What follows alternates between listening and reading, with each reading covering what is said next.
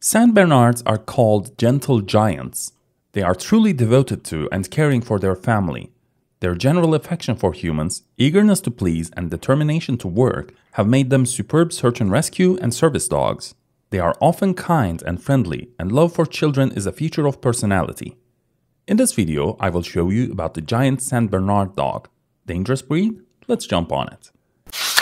History and origin. The Saint Bernard is a legendary Swiss Alps hero. It has been around for over 1000 years, yet its actual origin is unknown. They evolved from mixes between local Swiss dogs and huge Asian canines brought to Switzerland by the Roman armies. The breed was named after Archdeacon Bernard de Menton, who built a hospice for visitors in the Swiss Alps. The breed was officially recognized by the American Kennel Club in 1885. They have featured in popular culture, such as the Beethoven films and Stephen King's novel, Cujo. Appearance Saint Bernards are especially ideal for families with well behaved children since they are so nice, gentle, and patient. They are known for being kind and patient, and they take care not to hurt a kid. They are eager to please. They may be easier to train than other breeds. Saints are affable and inviting, as befits their origins as hospice dogs. They have a stable, pleasant nature and are kind and careful towards children. They enjoy attention but aren't as demanding as some other breeds. Temperament Saint Bernards have a saintly temperament, as the name suggests. This breed is known for being calm and kind, and is rarely aggressive towards strangers. However, because of their scary size, most people are afraid of these dogs. They are ideal family dogs, yet, if the family has small children, the gentle giant may accidentally hurt a small newborn. While they were originally bred to work, they are fairly lazy dogs that require a push when it comes to exercise. Size and weight.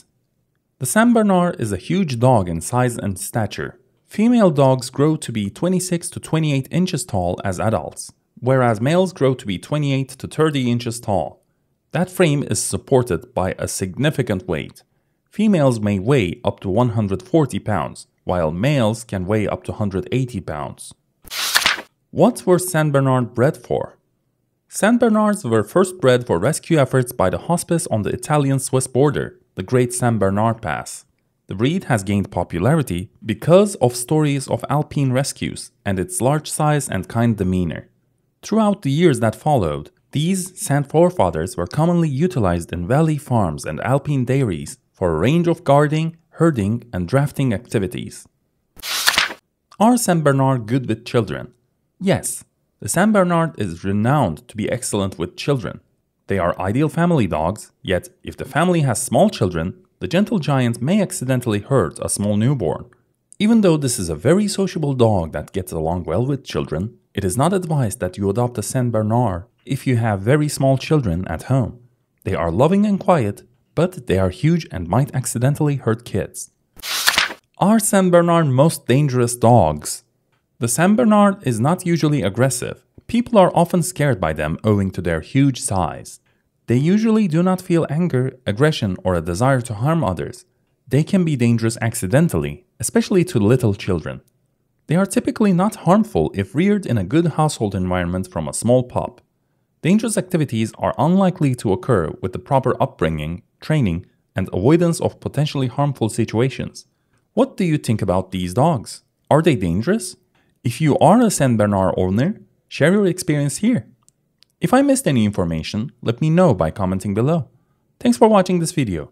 You are invited to watch more videos and subscribe to our channel for more updates. Thank you.